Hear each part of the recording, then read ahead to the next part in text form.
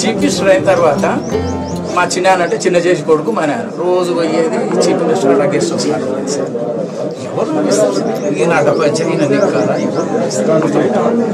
మా నాన్న చాలా సూక్ష్మజీవి. ఆడదూరం ఉంటే పక్క తప్పించుకున్నాను మా నాన్న సంజీవ్ ఇక్కడ వచ్చినానంటే మా నాన్న ఊర్లో ఉండకుండా సొప్పబండి వ్యాపారం కనపడకుండా. అన్న తర్వాత మాట మాటకు వచ్చి మాట్లాడుకుంటే ఇద్దరు మాట్లాడుకోవాలి నంది కొడుకు గెస్ట్ హౌస్ ఏమనంటే మన మాట్లాడకుండా బయట కూర్చుంటే తెల్లవారుజామున గిగ్ గిగ్గి అనుకుంటే పైలట్ వచ్చాను నాలుగు గంటలప్పుడు. ఆ టెండర్ ఉండి ఎవరు ఎందుకు వచ్చినా మీరు? అంటే లేదు లేదు పని గురించి వచ్చినావు అంటే బయట కూర్చున్నారంట కారు దిగితేనే చూసినాడంట చూస్తేనే మా తమ్ముడు మా చిన్న భయపడినాడు కిక్ ఆయన నవ్వు కిక్కేలే ఆయన తర్వాత ఏమంటే మా చిన్న కొంచెం ఘాటు మంచి చాలా ఘాటుగా మాట. నా సంజయ్ అందరాని పండు పుల్లనా అన్నాడంటే. కిక్క నవ్వానంట. కవి కదా సార్. కిక్క నవ్వే అందరాని పండు. అంటే ఆయనకు అర్థమైపోయింది అప్పుడే.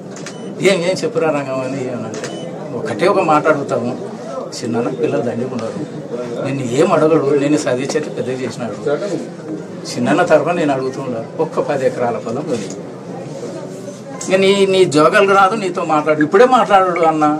ఒక అంటే నా దగ్గర డబ్బులు ఏం లేవులే. ఉన్నప్పుడు "ఆ, మాట అన్నావు మంచిది.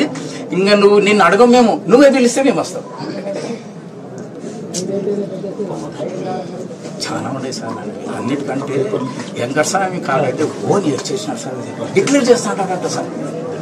లేదు నేను డిక్లేర్ చేస్తాంటే నాకు మాట వస్తుంది. నీకు మాట వచ్చేది కాదు అన్న నువ్వు ఉండలేవు సీటు మీద ఆడు ఇందిరా గాంధీ ఆమె ఇందిరాగాంధీ అయితే నైట్ సార్ పంజాబ్ మీటింగ్ పోతే నైట్ పన్నెండు గంటలకు మీటింగ్ పోతే ప్యాసింజర్ ఊలి గాలి నై గాలి గాలి అని అడుగుతున్నాయి సార్. లేదమ్మా ఇప్పుడు వచ్చినట్టు ఫస్ట్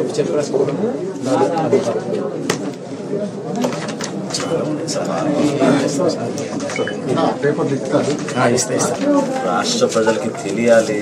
నిజాయితీగా పనిచేసే వ్యక్తి ఏ విధంగా ఆ రోజుల్లో ముఖ్యమంత్రిగా పనిచేసినా కూడా ఈ విధంగా సార్. నిరాడంబరంగా ఇంతమందికి ఉపయోగపడేట్టు ఆయన కొన్ని నిర్ణయాలు ఆ రోజుల్లో గొప్ప నిర్ణయాలు కదా. అభివృద్ధి చేశారు సంక్షేమం అది చేశారు మాత్రం అది మాత్రం అది మాత్రం వాస్తవమే సార్ అది వాస్తవం ఆ స్ఫూర్తి నింపడానికే పవన్ కళ్యాణ్ గారు ఈ నిర్ణయం తీసుకున్నారు.